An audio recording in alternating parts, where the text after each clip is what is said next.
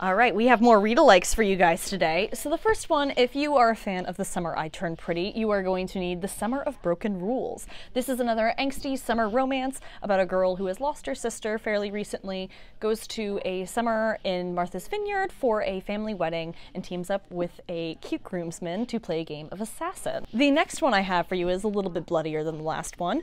Uh, this is The King is Dead, and if you were a fan of Red, White, and Royal Blue, this is similar to that except there's like more murder involved and there are secrets threatening the palace and it is totally heart pounding so definitely check this one out. And lastly we have even more murder. This is their vicious games which was one of my favorite books this year. And this is the bachelor meets squid game if you were a fan of either of those shows. About a girl who loses her scholarship to yale and joins a very rich family's uh, kind of games to get her scholarship back. But when she gets there those games are far, far more deadly than she signed up for